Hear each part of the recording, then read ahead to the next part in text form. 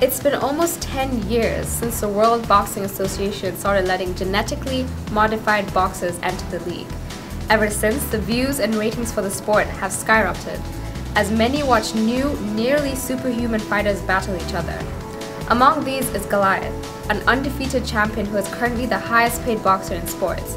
He has had 49 wins and 0 losses, with a record breaking 100% knockout rate. Every single fight he's ever been in resulted in a knockout, and in his last fight, his opponent actually died. Now, after six months and no opponents, it seems that everyone is too scared to fight Goliath, which may force him into early retirement. We're here with Goliath now to get his personal opinion. How do you feel, Goliath? Early retirement is not an option. When I started in this sport, I had a simple goal.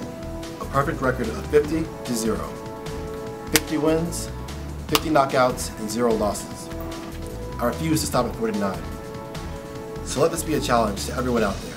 If anyone is brave enough to come fight me and win, the prize is $20 million. Within 48 hours after the video aired, Goliath got a challenge. We're here with a challenger who goes by only David. Hello, David. Hey, thanks for having me. So, David, you've shocked the world today by challenging the undefeated champion Goliath. According to your profile, you're only 5 feet 5 inches tall, 120 pounds, and have never been in a professional boxing match. Goliath's last opponent was twice your size, and not only did he get knocked out, he ended up dying from his injuries. Are you really ready to risk your life for $20 million? You know, for me this isn't about the money, it's about the principle. When I was growing up, I looked up to authentic sports heroes. They were people who didn't rely on genetic modification or steroids. It was all about using your natural talent and strength to overcome the odds. Cheaters like Goliath are ruining the integrity of the sport. I want to remind the world that anyone can be a hero, and that's a cause worth dying for. Shortly after the interview, almost out of nowhere, a multi-million dollar company came forward to give David support, Chipotle and it all started with a Twitter post. The tweet was seen by Chipotle's over 650,000 Twitter followers, and soon David's story went viral. When I say boom, you mean boom. boom. yeah. And we were like, what's happening? Okay, first of all, people are putting up their own videos. Yeah, I think like, we actually have a tape. Can we roll the tape of that?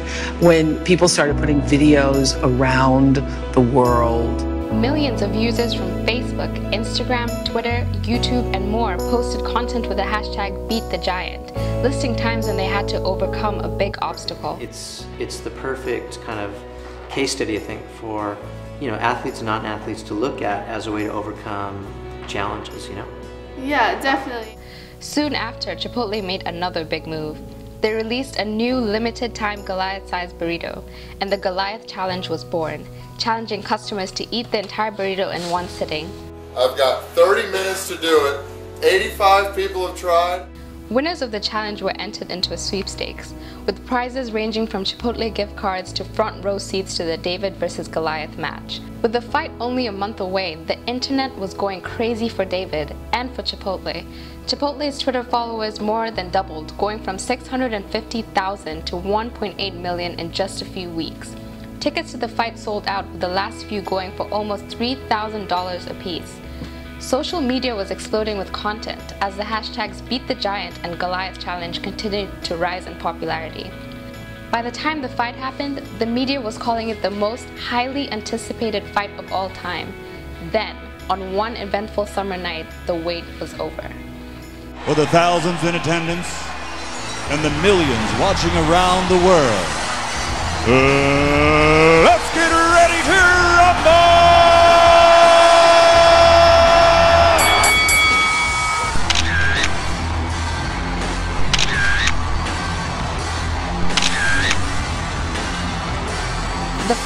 proceeding as planned when something unexpected happened.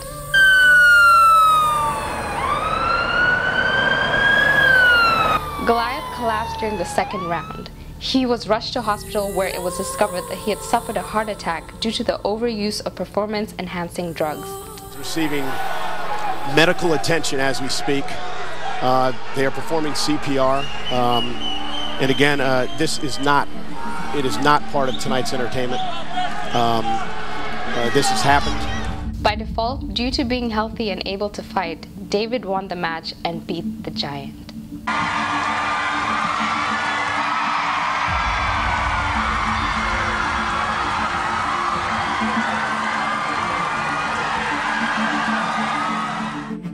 Physicians informed Goliath that his heart health had become so poor that he could never fight again, which forced him into early retirement.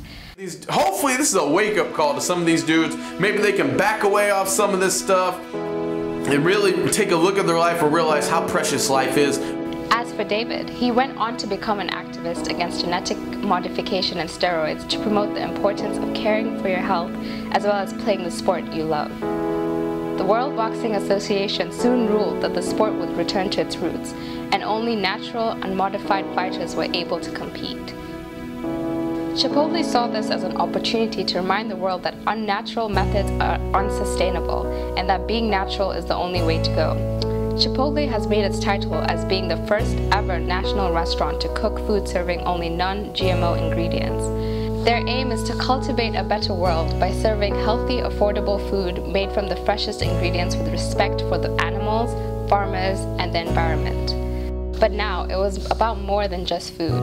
Chipotle started the Homegrown Player campaign to help support talented, natural players in all kinds of sports. John Kempin, the first ever Chipotle homegrown player MVP. He will treasure that one. I think Chipotle is, is really showing that there's a better way. Um, in the end, companies, associations, and people from all walks of life came together and helped cultivate a better world.